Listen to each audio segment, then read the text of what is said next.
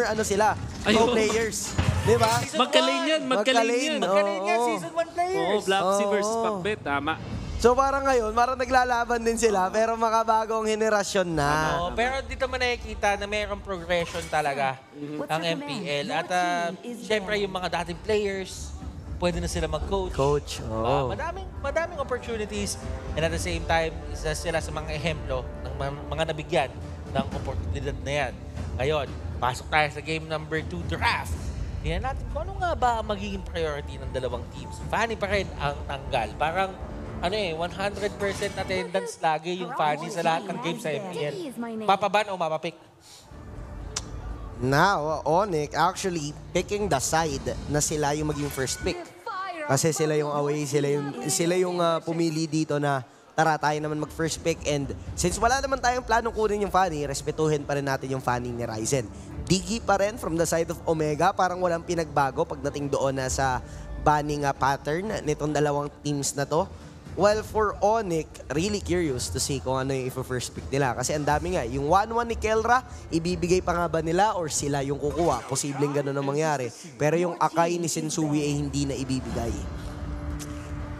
And that is going to be a Masha ban as well. Kung merong walang uh, Akai si Sensui, wala din Masha si Renjo. Ganon din nata talaga eh. Huwag mo ipa-break yung backlines mo. And as we all know, Onyx is a master of their formation. Kumbaga, ano eh, meron silang way of uh, getting to the formation tapos in, para yung play na ginagawa nila para ma-set up at hindi ma-penetrate yung formation na yon. Pero kapag ka may masya nga naman, eh napakadali lang yan para kay Renjo. Yeah. Kinoconsider kaya ng Onyx na i-prioritize yung 1-1 or ibigay siya sa Omega? Your team is Beatrix yung kanilang ban ngayon. Kasi ganito yan, kapag binigay nila, pag first pick nila yung 1-1, they're gonna be okay. Mukhang uh, sanay din naman si Nets. Nakita natin si Nets na maglaro ng 1-1 is really good at it. The same time, ayaw mo siya ibigay sa Omega. Kaso, ang mangyayari dyan, kapag, nangya, pag, bin, pag first pick nila yung 1-1, yung Omega can take um, Pakito once again, pati na Oo. rin yung uh, uh, Julian, which they are very comfortable with. At open pick din pa- para sa kanila yon So, malaking dilema to para sa Onyx Philippines. Ibibigay mo ba yung 1-1 o babasagin mo yung comfort nila sa may mid lane? At hindi pa nga natin napapag-usapan yung Faramis at Valentina na open sa ngayon. Oo nga, no? Hindi napansin sa banning. Mukhang Faramis lang tatanggalin. Valentina is the viable first pick for Onyx. Pwede rin yung 1-1. Pag nag-Valentina ka, may 1-1 Pakito, may uh, Julian din sa kabila. Ang daming choices, ang daming na-open kasi nga nire-respeto ng isa't isa yung mga heroes na kaya nilang dalhin. So now, ano kaya kukunin ng Onyx? Onyx Philippines, taking their time. Ang taking hirap. their time. Mahirap talaga kasi may Valentina, may 1-1, Julian. Tapos yung Omega can easily answer with a third pick load kung sakaling 1-1 nga yung unahin dito ng Onyx.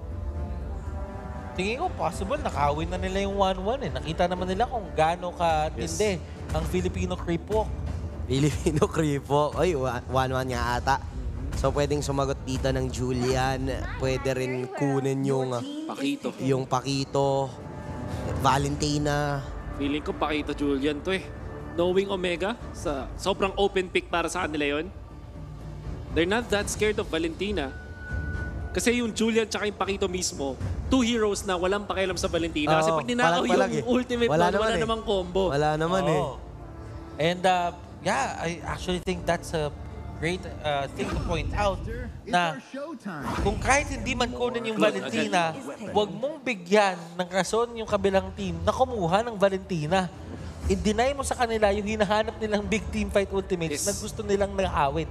Knowing uh, Onyx Philippines, baka kunin nila yung Pakita this time, pati yung Cho, para meron silang pang-cancel kung sakali. Kailangan kasi nila ng mga knock-up para dun sa Blazing Duet, if ever. Nandyan din naman ang Natalia, which they can also consider na kunin agad kasi mahirap din ibigay sa Omega. Imagine, Natalia, Julian, ang hirap maglaro ng 1-1 kapag ganun yung kalaban, unless of course ma-outplay mo. Kailangan dito ng crowd control para sa cancel. I uh, definitely agree with Wolf here. Yung knock-up, yung Jeet Kundo, yung Sipa, lahat yon perfect kit or perfect answer dito sa Claude na pinakita kaagad ng Omega. Pero ang ay kumuha ng Esmeralda plus the Cho. So ayaw nila ng Pakito. Bibigay nila dito kay Der, Esme pa rin. Tapos, Cho naman yung tandem nila. So ito nga talaga yung pang-cancel. Malabang, this is a hero for Rapidu. Yep. How about yung ah, Lolita? Although may Esmeralda sa kabilang team, nakita natin kung gaano siya kagandang uh, defense. Although, para naman sa Omega, ang dami pa nilang choices para kay uh, Chaknu. Nandyan yung ah, Franco for the lockdown immediately. Nandyan Atlas and of course, Ryzen Ling.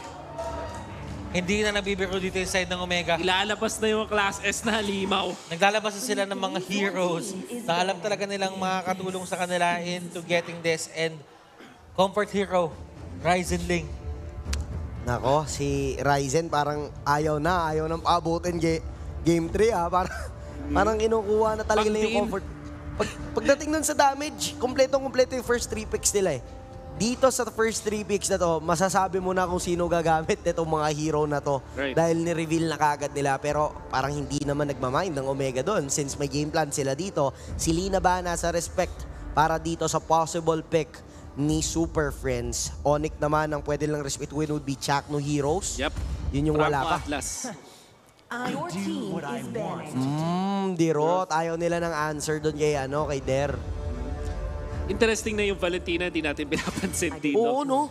Baka eventually iba na siya ng Omega unless kung gusto na lang kunin sa Yan. fourth pick. Ayun. Kasi tinitignan ko kahit sinong, well, yung sabihin na lang natin, possible yung Wave the Dragon, yes. Oo, maganda. Pero doon sa kabilang side, sa side ng OMG, Walang makakatulong Tempest of sa'yo eh. Blades, Tapos wala ka namang pam pambulot. Blazing Walang Duet, wala ka namang attack speed, Yup. Wala ka namang dash, Tempest of Blades ka, tapos damputin mo yung Pork Blades, tapos alis ka. How, um, Thams ang pwedeng iban dito ng Onyx? Or kung gusto nila, iban nila yung Pakito. Kaso mukhang hindi na ganun ka uh, potent yung pick na yun ng Pakito. So I'm thinking Thams. O kaya ay... uh, yung, yung Fred rin ba ay worth it iban ng Onyx Philippines sis, sa mga Ah. fan ng Onyx? it's it's a hero na kinukuha ni Renjo. Exactly. Pwede, no? Your team At maganda siyang Ah, panghuli. Kufra, Ch- Chakno Heroes nga. At maganda siya panghuli sa mga heroes like 1-1 eh. Kasi parang ano eh, multi-layered yung ano niya eh. Yep. Yung disables niya. Tapos pwede mo pa siya iton. So Yep. ang dami talagang possible Lolita. na pwedeng ma-deny. As we mentioned earlier, Lolita is gonna be picked up by Omega. Halaan dito na ang nakikita ko sa Oni kailangan nila ng parang Ruby para ma-lockdown itong eh, itong Ling. Although meron naman silang Cho. So looking for uh, knock-ups din Ka- Kadita for example. Um, o kaya Angela tapos kumuha na sila dito ng kanilang jungler. Assassin ata eh. Feeling ko assassin si Shinsui. Nagban ng Kufra eh. Mhm, mhm. Posible eh, no? May pagsabayan kay Ryzen. What if yung Cho i- i-jungle niya? Oh. Tapos kuha sila ng Oh, I think that's the case. Nakikita mo dito, merong Matilda na nahino-hover. Yes. Matilda. Oh. Matilda Ruby. Yeah, as we mentioned earlier, Cho. my pleasure. kailangan yung Ruby. Ang ganda ng Ruby pick dito, in fact, against Omega. That's why I mentioned it earlier. At gagawin nga nilang jungle itong Cho, which gives Omega the Fredrin. Yun nga, no? Sakto. Kanina, pinapaban pa lang eh. Pinapaban pa lang eh. Okay. Fredrin, nagbibigay siya ng ah, control over his uh, over his enemies. And definitely, yung damage output, hindi din basta-basta, hindi Sakit. na nga nakakatuwa. Oo. Minsan, kapag nahuli ka nun sa gitna ng ultimate, Dire-diretso talaga, makakombo ka na. I think yung, yung um, Esmeralda versus Fredrin, akala mo kasi talaga, fake shield kasi yun. Fake eh. shield, fake fake shield. shield. ah, tama. Fake shield lang kasi Hindi mo meron. nakukuha. Hindi mo pwedeng nakawin, eh, kulay gray eh. Iba yung shade, iba, yung shade. eh. Fake shield ang nakuha kay Fredrin. Tapos meron siyang, ah, yung combo niya kasi pag, na, pag dinadire-diretso niya, mamaburst niya talaga yung Esmeralda. Most importantly, yung knock-ups kasi. I- It's more about the control kapag Fredrin. Yun nga lang, si Fredrin kasi pwede mong ilagan. Pag, basta maiwasan mo yung taunt, yung knock-up, sasayawan mo lang eh. That's the problem with Fredrin. Kapag hindi siya nakakahampas, pag hindi siya hinahampas din, hindi siya masyadong effective. So we'll see how Omega will use this. And Helra plus Nets, sila magtatapat ulit dito sa ating Palitan ng hero lane. naman. Palitan ng hero indeed.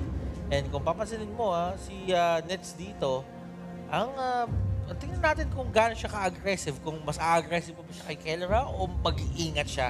And Oo. as we all know, right now, Chaknu is in the area pwede nilang bigyan dito at parusahan agad si Nets para mapilitan siyang gamitin yung Inspire niya agad-agad. Oo, talagang ipipin down. Same story doon sa game 1. Pero ang difference is, nag-swap lang naman ng heroes dito yung dalawang gold laner. Si Nets, siya na yung naka 1-1 while si Kelra naman yung na- may hawak ngayon ng Claude. Pero ngayon, nakaabang pa rin si Nets. Pwede siyang makakuha ng respo mula doon sa dalawang ah, members. Na, uy, tatlo nga ata. Gagang sila, sumilip lang kay Chakno pero wala pa sila ditong panghuli. So, malalaman lang nila. Meron silang info dito kahit papaano na pwedeng pagtulungan nga si Nets. And dahil nga hindi masyado nakikita si Chakno doon sa mid lane or sa kahit ano pat lane, ay ah, nakatunog dito on side ng Onyx na parang padalan mo nga ng backup dito si Nets. Parang may binabalak yung Omega eh. Ang maganda nga lang sa Esmer versus Fredrin, in favor of the Esmeralda is free average stacks talaga. Kasi walang way para si uh, Fredrin ay makatakas dun sa melee range na yon. So, uh, yayaman at yayaman talaga dito si Der. Ang maganda, ang uh, kung nagkaroon ng sabayang bigkas, eventually mananalo yung Fredrin. Pero kung galawang mapa, lalamang yung Esmeralda. Eto Max Chakno. Pinipigilan ang tambalang Rapid at Super Prince din sa may gitna. Oh. Pero merong advance na gagawin dito yung side ng OMG. Nakita niyo yung ah, chain ay binato. That enhanced chain almost securing that kill. Pero kasi si Super Prince, ang sabi niya, filiger muna ako. Magko-cooldown pa naman to. Matagal pa ang laro. Yep. So hindi sila tumuloy dun sa Ruby, kinuha nila dito yung Karina, putting Rapido dun sa kanyang ah, set, pang set na hero. And Sensui, take note guys, this is a damage build na Karina. So, sinasabi natin kanina, naghahanap sila ng assassins. Ito na yung nakuha nila pang tunaw ng mga squishy members ng Omega. Kapag kalaban mo ang Claude, sulit kumuha ng assassin or damage build na Karina. Actually, pag nakikita ko yung mystery shop na yan na nasa arena, natatakot ako para doon sa marksman eh. Ang sakit Kasi may yan. pumuputok na marksman dahil dyan eh. Correct. Kayang-kaya talaga pasukin yung backlines. Kaya nga naman nagdadalawang isip ang Omega if kukontest pa sila. Di sa turtle take na to at mukhang hindi na nga. Bibigay na lang nila while still si Ryzen ay kumukuha pa ng kanyang purple buff. So yung lineup ngayon ng Omega, parang makikita natin na nagpapalakas pa eh. Nag-iipon pa muna ng Arsenal eh. Parang Oo. alam nila na lugi sila pag nirush nila yung early game dahil nga doon sa poke damage na meron ng isang Mathilda. Yep. And the saves uh, din, dahil dun sa Guiding Wind, kapag nag-overcommit ka, ang daling mag-punish talaga. Lalong-lalo na meron pang stump mula dun kay Rapido. So, Onyx Philippines, uh, they do have the slight advantage sa early stages. So, ngayon, eh, expect natin na maghihintay ng first item itong si Sensui tapos kaya na niyang uh, i-go dito si uh, Kelra. And Kelra having sprint instead of flicker. Gusto niyang makipag 1v1 dito kay uh, uh, Nets eventually. Oh! At meron sipa. Rapidot with the kick. Saktong-sakto yung angulo ng flicker para maihatid doon si Chakno sa kanyang mga kampe. Pero ngayon si Ryzen naman, kukuha, lalapit si Der. Gusto niya talagang pigilan pero mukhang magiging successful ang plano dito ni Ryzen. Hmm, nahuli na si Kelra pero walang sipa na manggagaling dito kay Rapidot at ah, tuloy-tuloy ang saya kay Kelra sa gold lane.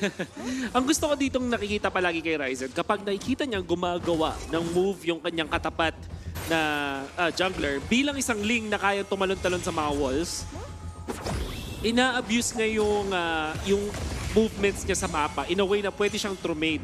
So nakita niya, ay, nakakuha ng kill. Si Chakno lang yan. Wal, di tayo ganun ka problemado dyan. That sa position 5, gumawa siya dun sa purple buff ng Onyx Philippines. Finast, uh, binurst niya. Tapos nakakuha siya ng retry. In a way, mas nakakalamang siya sa galawan dahil mas nakakapag-farm siya dito. Sobrang importante ng purple buff sa Karina na damage build. Now, as you can see, both teams, hindi sila naging aggressive, hindi sila nagmamadali. They know na meron silang priority into getting those items.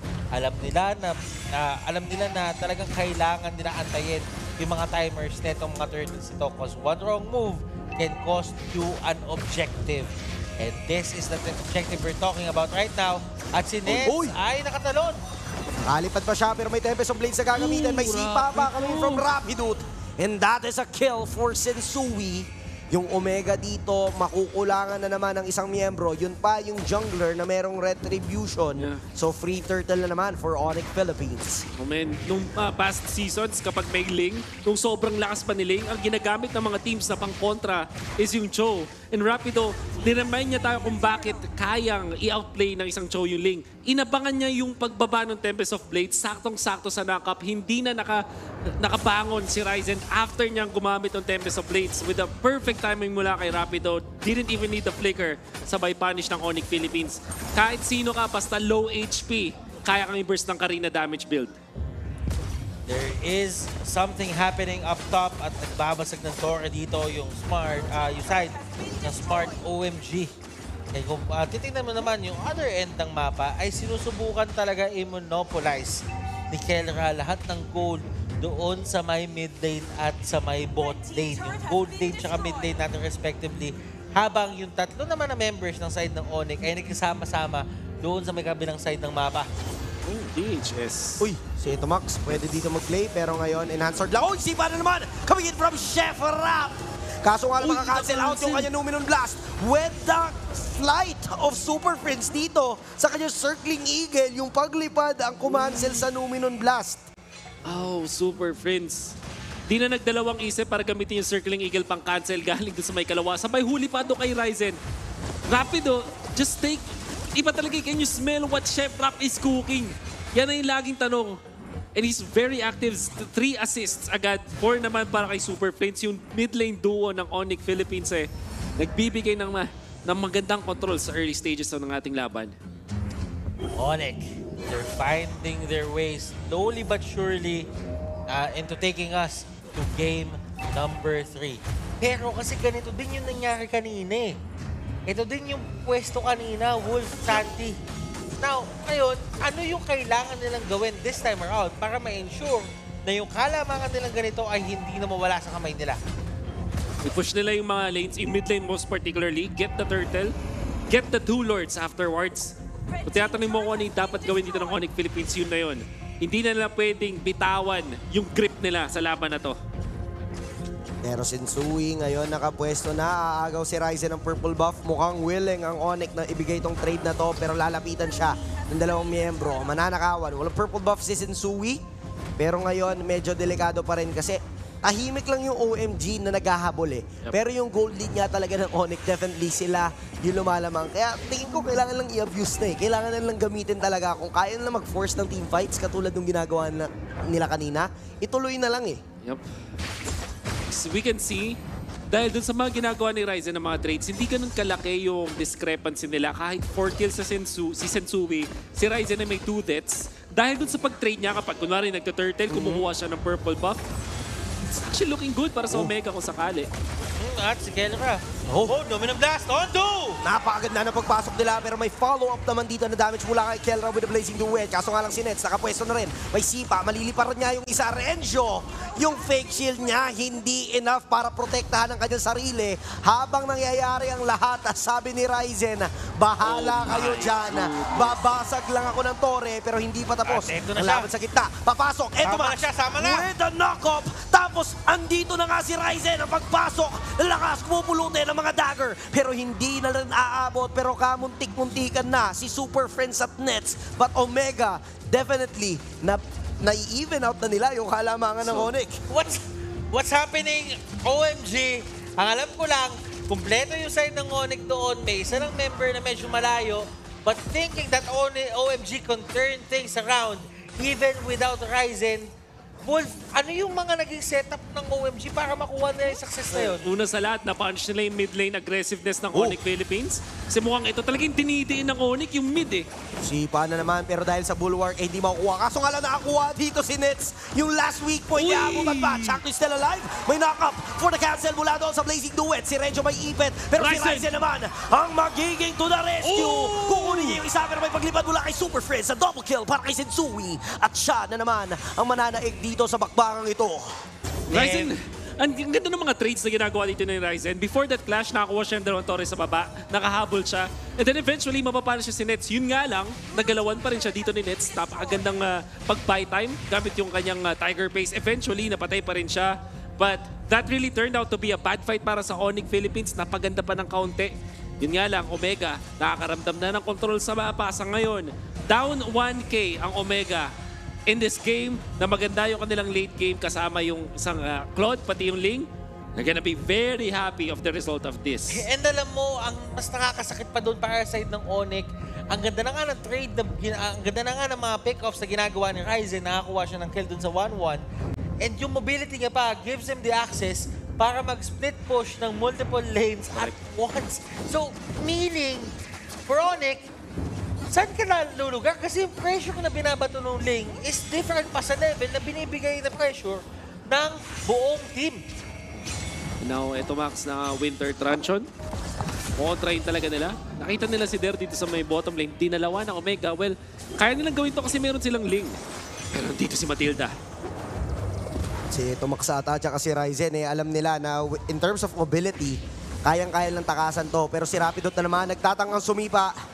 Pero hindi niya mapapasa sa kanyang mga kampi. Medyo fail ang kanyang alley play doon.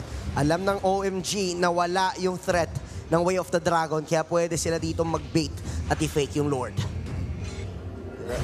May mga nasipa na dito from the side of OMG. Renjo could have been the biggest uh, pick-off dito bago mangyari ang Lord fight. Pero dahil nga medyo liko yung uh, pagkasipa dito ni Rapidot, eh hindi nila makukuha yon. Yun sana yung pinaka-advantage nila para kahit paano masabi nila, ah, atin tong Lord. Pero right now, it proved to be something na hindi nila magagamit sa darating na fight. Chakno ang laging tinatauhan dito ng mga miyembro ng Onyx. Pag nakita nila, pwedeng bigyan. Pero si Rencho, ang ganda ng pwesto. Masisilip nga nila yung buhay ng Lord. Si Ryzen, andito na sa kabilang dingding. Kitang-kita niya. May luminong blast.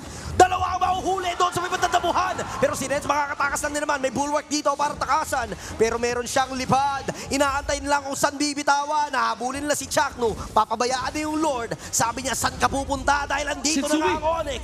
Habang nangyayari ang lahat, eh, meron namang tibay na pangyayari oh! sa Oh! kita. Sensui na muna ang play. Pero si Kelray babawi lang din. Meron sila ditong gante. And dati sa 3 for 1 na trade. Nandito si Rapidot with a kick. Si Renjo mauhuli. And Renjo, siya ang sumasalo ng lahat. But Kelra, hinahabol siya nila Nets. And galit na galit, the crossbow of Tang. Renjo is down. 12 seconds kay Ryzen, eto Max. And Chakdu now alive. Lord is being taken by the side of Onyx. Yup. Na, ang ganda nung uh, stun coming out from Chakto, catching two, pero it was very early. Walang follow-up whatsoever. At alam natin, meron kasing needles and flowers yung 1-1 na pangtanggal ng stun. Eventually, hinabol na si Chakto. Ang tunay na MVP though, Sensui winning na 2v1. Oh, nanaka pa yung isa pero Super Freeze mapapatumba. May bulwark to para mang save. Pero may ipit ata si, si Ryzen. Meron pa siyang mga talon pero yung crossbow of Tang hindi magiging enough upang mapatumba si Tito Max. Ryzen makakauwi lang din. But now Onyx, things are looking great dahil meron silang Lord na nagmamarcha na sa may bandang ibaba. And Kelra and the others, they are clearly, clearly uh, sticking to the turrets. Alam nila na wala silang space dito na magligoy-ligoy, na mag-ikot-ikot. And sa totoo lang, kailangan nila tignan kung saan nga ba magpu- uh, magpupush etong Lord. It will go to the bottom lane dahil wala nang outside turret doon. Chill.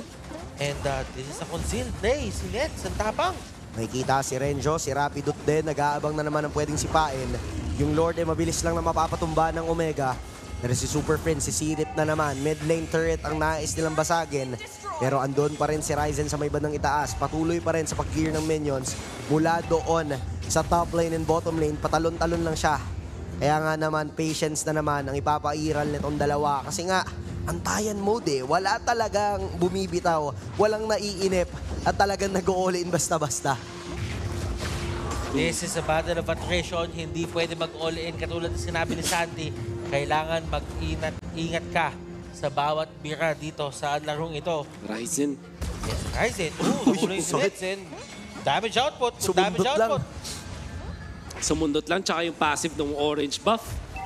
Uy, uy, uy, si Kelra nakapwesto, si Rapidot ata makakanaka, pero hindi magiging sapat ang kanyang sustain na para nga makatakas doon sa limang miyembro ng Omega. And with that pick-off, tingnan natin kung magiging mas matapang nga ba ang Omega sa pagkontrol ng mapa. Ganda ng pasa ng Omega doon. Hindi basta-basta naglalakad si Kelra. This time, alam niya, hindi siya parang 1-1 na pwede talaga maging sobrang aggressive. Bilang Claude, lalo na mayroong ah, threat ng isang Karina, ginagamit niya yung mga teammates siya pang face check muna and then he uses the Art of Thievery as well. Bawal na talaga magkamali sa mga gantong moments. Kahit pa ang Onyx, sila yung lamang. Hindi sila pwedeng basta-basta magkamali. 35 seconds before the Lord respawns. And as we've seen, Omega, meron talaga silang idea or meron silang ah, pagiging eksperto. Sila ay eksperto. Pagdating sa bagay na, alam mo yun, tara pre, dali natin late game, kambakan natin to. Time and again, nakikita natin to from this smart Omega squad. But etong, etong series na to, parang anytime kaya nila kumamba kahit hindi pa super late game eh. Oo, parang alam nga nila kung paano yung nagiging takbo. And na nagagawa nila ng paraan yung mga moments na nalulugi sila ng todo. Pero yung Onyx, mukhang natuto na dun sa pagkakamali nila nung game 1 eh. Unti-unti na sila din nagiging mas maingat at mas ine-expect na nila yung mga unexpected na pwedeng gawin ng Barangay Omega. Yung mapa yung na, nilalaro na rin dito ng Omega, mas mapapansin natin, mas lumalamang sila sa pag-flow ng mga minions. Lord is now up. And Lord is being taken down by Nets. Nagkakaunahan na dito ang ating dalawang kupunan at napasok sila Nets. Uh, napahampas sila Nets pero si Renjo nandun lang sa may area planning to stun etong si 1-1. Oh, grabe yung pull ah. Abangan lang talaga, no? Silipan lang.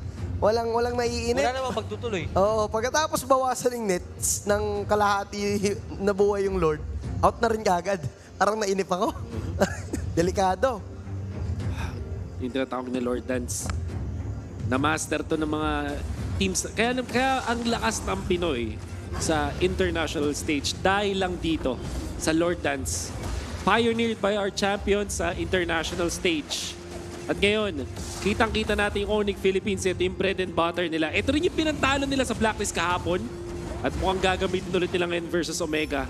Omega nga lang may ano eh, mayroong aura talaga eh. Lalaban at lalaban. Yoy, kunsil laban sa kunsil. Taguan lang sila. Si Rapido dito nakapwesto. Si Renjo pwedeng bigyan pero ngayon may Circling Eagle na gagamitin. Grabe yung damage ni Nets dito na mag- magagawa na siya patumbahin. Nanaka pa dito Wala ng Lord. fake shield. Wala na talagang magagawa si Renjo. At yung Onyx ngayon ang makakakuha ng kalamangan. Sensui. Si Sensui. Gagawin niya ata yung ginawa ni Ryzen kanina. Bulaga mula kay Sensui. Meron naman dito Blazing Duet. May Luminous Blast pa. Tatamaan din Super Friends. Pero hindi magiging enough. Merong knock-up coming from Etomax. Pwede nilang ituloy yung Lord dahil nga buhay. Pa dito ang isa. Pero jungler laban sa jungler eh wala. That is a Lord secure coming in from Nets. Si Kelra nga habulin. May paglipad na naman. Oh! Kahit na lumipad siya ay nakaabang pa rin doon kung saan siya pwedeng bumalik. And tatlong miyembro ang mapapatumba ng Onyx plus the Lord. yung patience play na ginawa ng Onyx doon, not pulling the trigger on the first few engagements, pero nung nakita nila na kahit pa paano yung naka-overextend yung side ng OMG, they will do it. Ganun yung nangyari kanina. And I don't think na kung bibigyan ulit ang Onyx ng isang pagkakataon ay papalagpasin yon ng side ng OMG. Na, How ng about side that? ng OMG, side ng Omega, baliktad pala. Sensui doing the same thing as Ryzen doon sa dulo.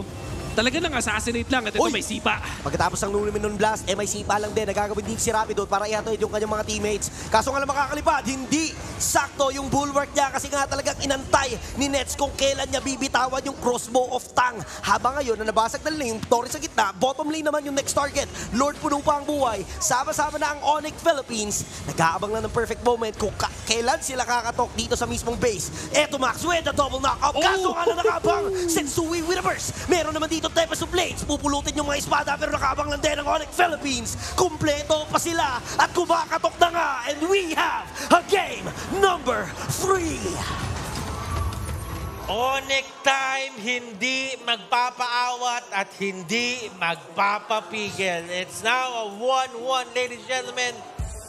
And as we all know, sa mga ganitong klaseng matches, hindi enough minsan ang two games lang. Ang Onyx Philippines banking doon sa kanilang pagmaster nung Lord Dance. Waiting for the right moment na mag- magkamali ng pwesto doon ng Omega. Tinry